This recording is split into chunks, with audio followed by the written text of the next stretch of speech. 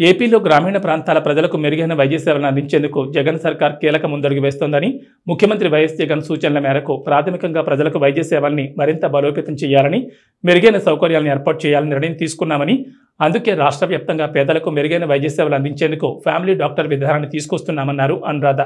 మండలంలోని పెద్దగోగాడ ప్రాథమిక ఆరోగ్య కేంద్రాన్ని ఉమ్మడి జిల్లా శిశు సంక్షేమ స్టాండింగ్ కమిటీ చైర్మన్ అనురాధ సందర్శించారు. ఆరోగ్య కేంద్రం పరిసర ప్రాంతాలను పరిశీలించి రోగులకు అందిస్తున్న వైద్య సేవలను అడిగి తెలుసుకున్నారు.